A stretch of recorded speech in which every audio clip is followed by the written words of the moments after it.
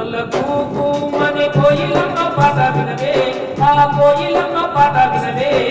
పచ్చ పచ్చని చెట్టు పూలు నవ్వినట్టు చెట్టు తల్లి మనసు కనవే.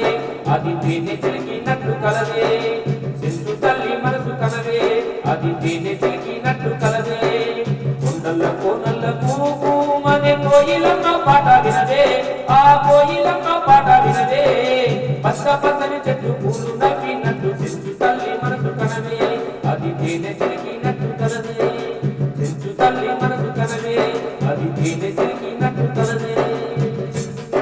భారతదేశంలోని ఆంధ్రప్రదేశ్ నల్లమల అడవుల్లో చెంచులు అనే గిరిజన జాతి నివసిస్తోంది. తెలుగు భాష మాట్లాడే వీరు ఎక్కువగా మహబూబ్ నగర్ కర్నూలు ప్రకాశం గుంటూరు జిల్లాలోని అటవీ ప్రాంతాల్లో అనాదిగా జీవనం సాగిస్తున్నారు. ఆహార అన్వేషణే చెంచుల ప్రధాన వ్యాపకం.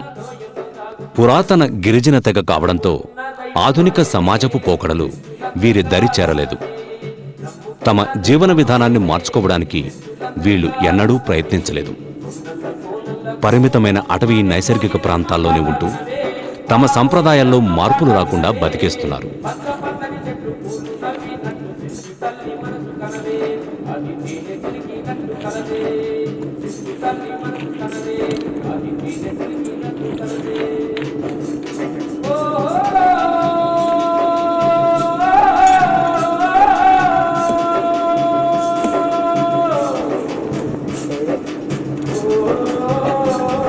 నల్లమల అడవులు విస్తారమైనవే కాకుండా చాలా దట్టమైనవి. పర్వత ప్రాంతాలతో నిండి ఉంటాయి. ప్రమాదకరమైన మార్గాలతో మొనదేలిన అంచులతో భయానకంగా ఉంటాయి. అయినా చెంచులు ఏమాత్రం వెరవకుండా వీటినే తమ నివాస ప్రాంతాలుగా చేసుకుని జంతువుల్ని వేటాడుతారు. ఆహారం కోసం తిరుగుతారు. బాణాలు విల్లు ఒక చిన్న కత్తి ఇవే చెంచుల ఆయుధ సంపత్తి. వీటితోనే జంతువుల్ని వేటాడి తింటారు. ఎలుగుబంటి జింకల్లాంటి వన్యప్రాణుల్ని ఎక్కువగా వేటాడేవారు. అయితే ఇటీవలి కాలంలో జంతు సంరక్షణపై పెరిగిన శ్రద్ధ వల్ల ఉడుములు కుందేళ్ళు అడవి పక్షులు మొదలైన చిన్నపాటి ప్రాణులను మాత్రమే వేటాడుతున్నారు.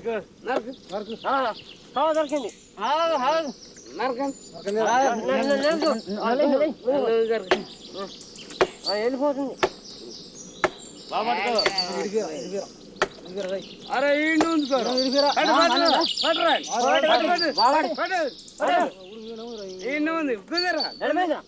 చెంచుల ఆహారపు అలవాట్లు చాలా సరళమైనవి. జొన్న సజ్జలతో తయారు చేసిన జావ అడవుల్లో దొరికే పలు రకాల దుంపలు గడ్డల్ని కాల్చి లేదా ఉడకబెట్టుకొని వీళ్ళు తింటారు. వాటితో పాటు కాస్త చింతపండును బూడిదతో కలుపుకొని ఆరగిస్తారు. ముఖ్యంగా గర్భవతులకు ఇది మంచి ఆహారంగా వీళ్ళు భావిస్తారు. సాధారణంగా వేట కోసం ఉదయాన్నే బయలుదేరే ముందు అన్నం తిని వెళ్ళడం అలాగే సాయంత్రం ఇంటికి తిరిగి వచ్చిన తర్వాత మళ్ళీ తినడం చెంచుల అలవాటు. దీన్ని బట్టి చెంచుల శారీరక సామర్థ్యాన్ని ఊహించవచ్చు. మధ్యలో ఏమీ తినకుండానే రోజంతా అడవిలో వేట సాగిస్తుంటారు. చెంచుల దేహదారుఢ్యాన్ని అంతర్గత సామర్థ్యాన్ని అల్పంగా కనిపించే వాళ్ళ శారీరక ఆకృతిని బట్టి అంచనా వేయలేం. చెట్ల వేళ్ళు పళ్ళు దుంపలు బీడి ఆకులు ఇప్ప పువ్వు తేనె తుమ్మజిగురు చింతపండు తదితర అటవీ ఉత్పత్తుల్ని చెంచులు సేకరిస్తుంటారు. వీటిని వ్యాపారులకు ప్రభుత్వ సహకార కేంద్రాలకు అతి తక్కువ ధరకు అమ్ముతారు. ధనానికి వస్తురూపంలోని సంపదకు చెంచులు అధిక ప్రాధాన్యతనివ్వరు. అంతేకాదు ఆహారాన్ని నిల్వ ఉంచే పద్ధతులను కూడా వాళ్ళు ఏమాత్రం వంటబట్టించుకోలేదు ఏ రోజుకు ఆ రోజు అన్నట్లు జీవించడం వల్ల భవిష్యత్తు కోసం వాళ్ళు ఎంతమాత్రం శ్రద్ధ చూపరు. అందుకే వ్యవసాయం పైన వాళ్ళకు ఆసక్తి ఏర్పడలేదు. అప్పుడప్పుడు కూలి పనులు చేస్తున్నా అది తాత్కాలికమే. మళ్ళీ తమ జీవన విధానమైన వేట అటవీ ఉత్పత్తుల సేకరణకై మొగ్గు చూపుతుంటారు. అన్ని రంగాల్లో వస్తున్న అభివృద్ధి క్రమంగా చెంచుల స్వస్థలమైన అరణ్యాల్లోకి సైతం బాటలు వేస్తోంది. వాళ్ళు స్వేచ్ఛగా తిరుగాడే అడవులు ఇప్పుడు వాళ్ళకి మాత్రమే సొంతం కాదు. నల్లమల అటవీ ప్రాంతాన్ని పులుల రక్షిత కేంద్రంగా ప్రభుత్వం ప్రకటించింది. చెంచులకు వ్యవసాయాన్ని అలవాటు చేయాలని ప్రభుత్వం చేసిన ప్రయత్నాలు విఫలమయ్యాయి. అడవుల్ని వదిలి బయటకు రావడానికి చెంచులు నిరాకరించారు. పులులతోనైనా సహజీవనం చేయడానికి వాళ్ళు మొగ్గు చూపుతున్నారు. శతాబ్దాల తరబడి అటవీ జీవనం చెంచుల్ని బాహ్య ప్రపంచంతో సులభంగా కలిసేందుకు అవకాశం లేకుండా చేసింది. కొంతమంది చెంచులు తమ పిల్లల్ని ప్రభుత్వ పాఠశాలలకు పంపుతున్నప్పటికీ వాళ్ళు విద్యావంతులు కావడం ఆధునిక సమాజంలో కలిసిన సందర్భాలు చాలా అరుదు. ఒకవైపు అటవీ వనరులు తగ్గిపోతుంటే మరోవైపు కొత్త జీవన విధానాలకు అలవాటు పడ్డానికి చెంచులు అవస్థలకు గురి కావలసి వస్తోంది. అప్పుడు పచ్చకూర వండుకొని తిన బలం ఉన్నది. ఇప్పుడు తెల్లకి బువ్వ తిన్న కూడా సతవ లేకుండా మనిషికి. ఒరుబు అని పేరే కానీ అదేమైనా బలం ఇస్తుందా మనకి? అప్పటి కాలం ఏముంది? మొసరు పోను తిన్నా కూడా ఇంత పట్టించేది మొసరు అని ఉంటే చూడు చెట్టుకి నరుక్కొని తింటాం. దాని ఇంత పుప్పని తీసుకొని తింటే చెట్టుది అది రసం. దాని బలం ఇప్పుడు నీ వరిపోపు కూడా ఇస్తలేదు. పప్పుతో తిని నూనెతో తిన్నా కూడా బలం లేదు.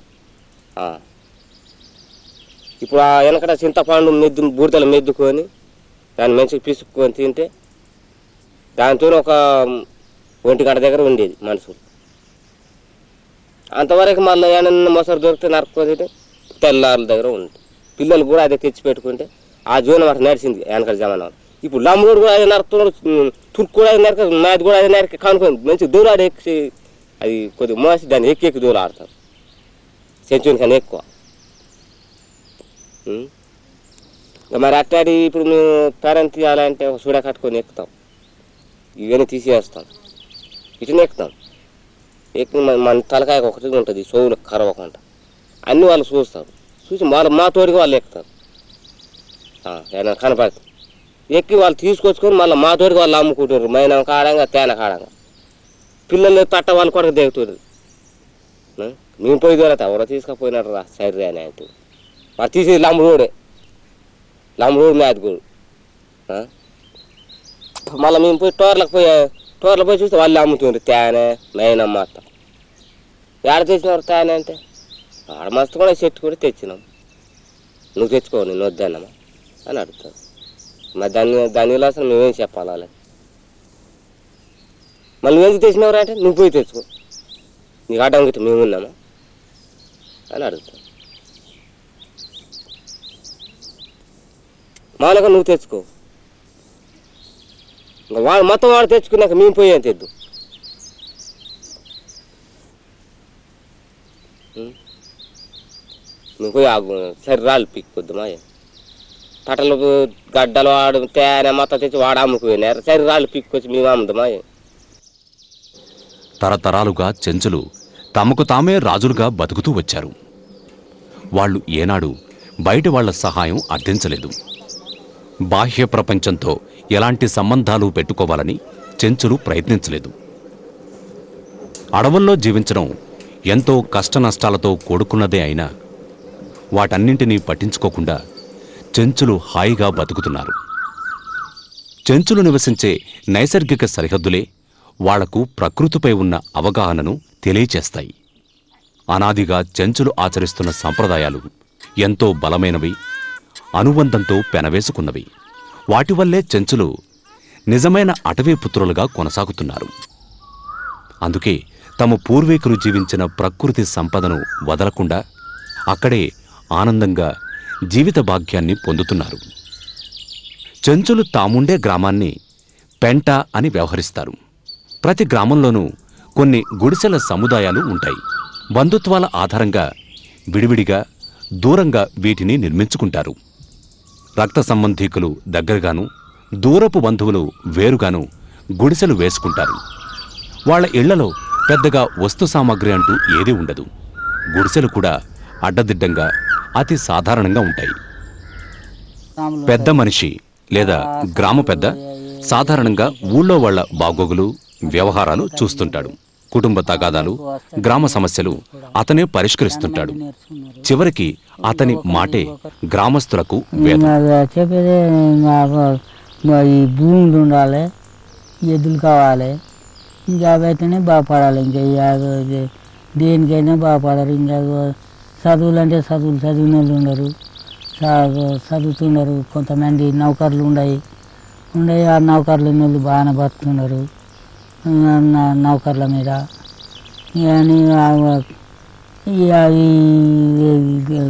లోతక జనం అంతా మొత్తము ఇక ఇక ఈ భూములు చేయక ఇక ఈ భూములు లేక ఎద్దులు లేక ఈ ఇప్పటి పెట్టి పిల్లలు కొంచెం తెలివికి వచ్చినారు అప్పటి వల్ల మేము పెద్ద మబ్బు మీద విన్నాం అప్పుడు. అప్పుడు ఇంకా ఇంత తెలివి లేదు అప్పుడు. ఆ తెలివి లేక ఏమంటే గవర్నమెంట్ ఏం చేస్తుందో ఇవన్నీ ఇస్తుంది ఎద్దులు ఇస్తుంది ఈ బండ్లు ఇస్తుంది. నీ దగ్గర నన్ను తీసుకుపోయి ఆ ఊళ్ళో దిగితే చచ్చిపోతామో ఏమో సావదించదా ఏమి. అన్నది దయ్యము పెద్ద గిన్నెది సారు అట్లా విండి బాగుపడలేదు చెంచు జనము. ఇప్పుడు అంతా ఈ దిడ్డలు ఎదిగినారు. ఇప్పుడు దిడ్డలు తె- తెలివిన పెట్టారు. ఇప్పుడు పట్టణాలు అవి అన్నీ తిరుగుతున్నారు. ఇప్పుడు అంతా తెలివి పెట్టారు. ఇప్పుడు కావాల్సింది భూమి వీళ్ళ ఇల్లు. ఈ రెండైతేనే వాళ్ళు ముందుకు రావాలి. తమ తెగవారిని కాకుండా వేరే తెగవారిని వివాహమాడ్డం చెంచుల ఆచారం. వీరిలోనూ అనేక తెగలు ఉన్నాయి. హిందూ ప్రాచీన సంప్రదాయమైన గోత్రాల్ని చెంచులు ఖచ్చితంగా పాటిస్తారు. గోత్రాల ద్వారానే తెగల మధ్య తేడాల్ని లెక్కిస్తారు. చెంచుల్లో ఇరవై ఆరు రకాల గోత్రాలు ఉన్నట్లు గుర్తించారు. గోత్రాల పేర్లను బట్టి తెగల్ని గుర్తిస్తారు. ఒకే తెగలోని వారి మధ్య కానీ ఒకే గోత్రంలోని వారి మధ్య గాని వివాహాలు జరగవు. వేరువేరు తెగల వాళ్ళే పెళ్ళిళ్ళు చేసుకుంటారు. పెళ్ళైన తర్వాత భర్త గోత్రాన్ని భార్య స్వీకరిస్తుంది. పెళ్ళిగా వ్యవహరించే చెంచుల వైవాహిక వేడుక నవవధూవరుల ఇష్టాయిష్టాలతోనే జరుగుతుంది. సంప్రదింపులన్నీ ముందస్తుగా పెద్దల సమక్షంలోనే జరుగుతాయి.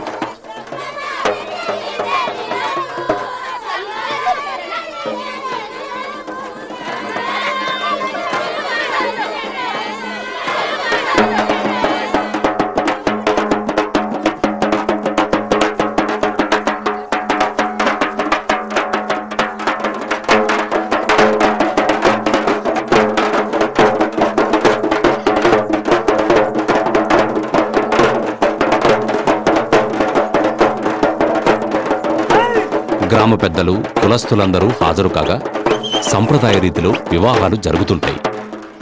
బుత్తలూరి తెగకు చెందిన పెద్దలు తప్పనిసరిగా పెళ్ళికి హాజరై పౌరోహిత్యం చేయాలనే ఆచారం ఉంది.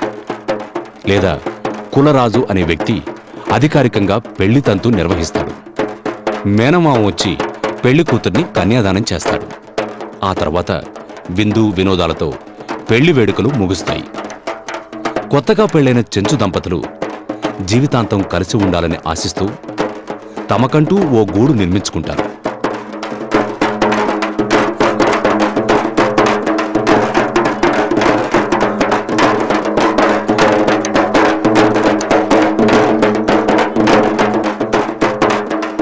సంసారం పొసగని పరిస్థితుల్లో చెంచులు కూడా విడాకులు తీసుకునే ఆచారం ఉంది.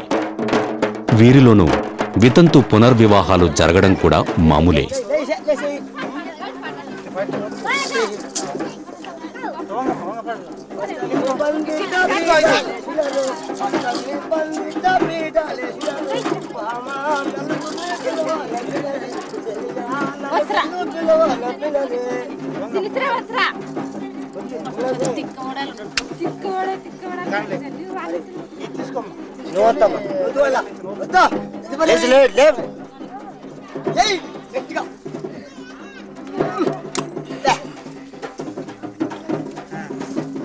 కట్టాలి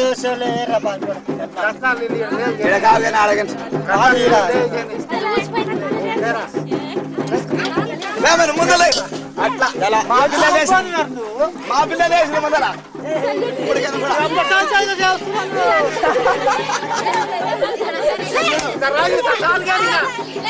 ఇదరిగా రాత్రి పిల్లలు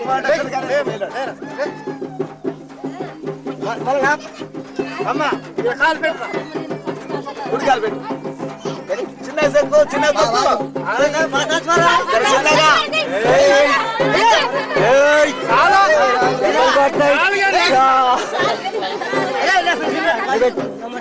అమ్మా, నువ్వు ఈ నుంచి తొక్కాలి చూడు బాగా దెబ్బ. చూసుకో నా బిడ్డ తొక్కుతుంది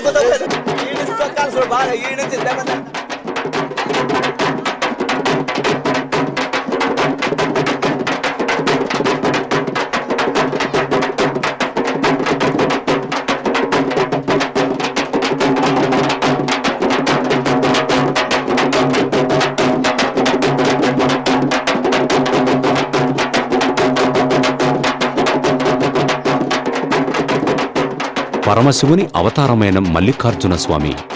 ఈ అడవిలోని చెంచులకు చెందిన కన్య అయిన చెంచులక్ష్మిని వలచి వివాహమాడినట్లు ప్రతీతి.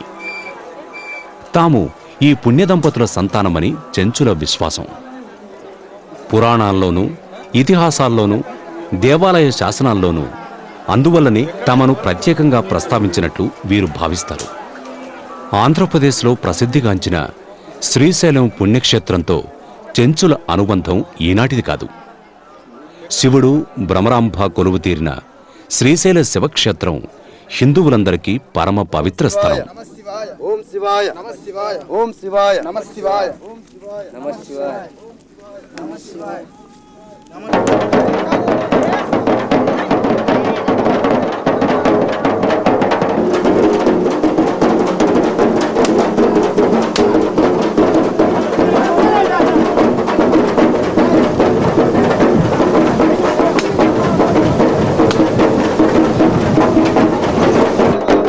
చెంచుల్లో దైవభక్తి ఎక్కువగానే కనిపిస్తుంది.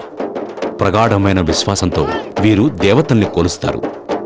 పరమేశ్వరుడిని వీళ్ళు లింగమయ్యగాను ఆదిశక్తిని మైసమ్మ పెద్దమ్మగాను పూజిస్తారు. స్త్రీ పురుష దేవతల్ని చెంచులు ఆరాధిస్తారు. జూలై ఆగస్టు నెలల్లో వచ్చే శ్రావణ మాసంలో ఎక్కువగా పండుగలు జరుపుకుంటారు. శివుణ్ణి అనాదిగా పూజించే రీతిలోనే చెంచులు లింగమయ్య దేవుణ్ణి కోరుస్తారు.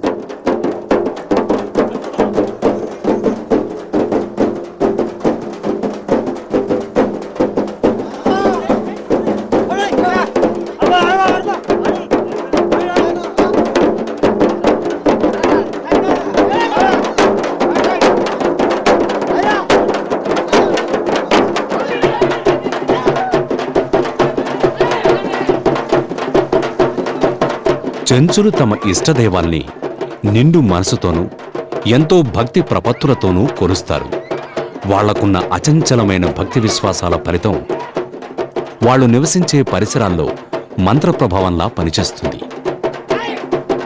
దేవుళ్ళను ఆరాధించే విధానం చెంచులు చేసుకునే పండుగలు ఒక్కోసారి చాలా నిరాడంబరంగానూ ఉద్వేగం లేకుండానూ నిర్మలంగా ఉంటాయి.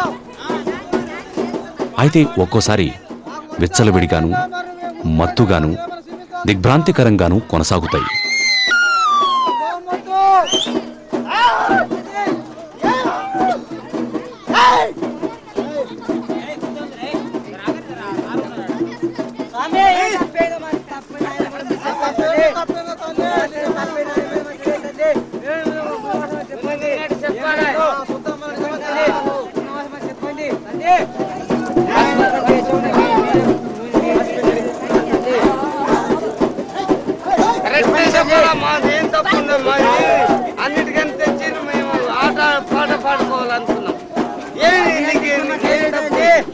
చెప్పండి ఉన్నవాళ్ళు చెప్పండి. తల్లి చెప్పాలా చెప్పాలా? చెప్పాలా చెప్పండి ఇది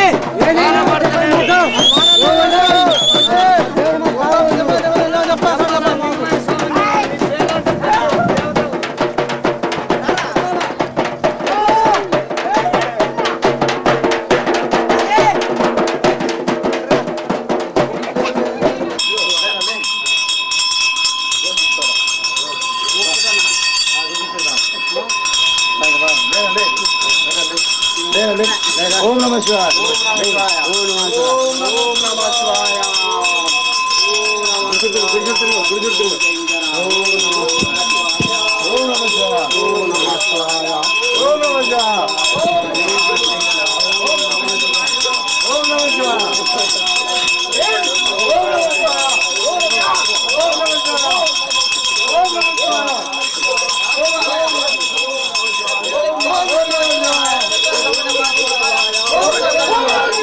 వాళ్ళ పూర్వీకుల గిరిజన సంస్కృతి తరతరాలుగా చెంచుల ఆచార వ్యవహారాల్ని చెక్కు చెదరకుండా కాపాడుతూ వస్తోంది. వాళ్ళ నృత్యాలు పాటలు ఉల్లాసం చెంచుల జీవితంలోని ఆనందాన్ని అమాయకత్వాన్ని ప్రతిబింబిస్తుంటాయి. నిరాడంబరంగా జీవిస్తూ ఉన్న కొద్దిపాటితో సంతృప్తిగా బతకడమే చెంచుల గొప్ప జీవన విధానం.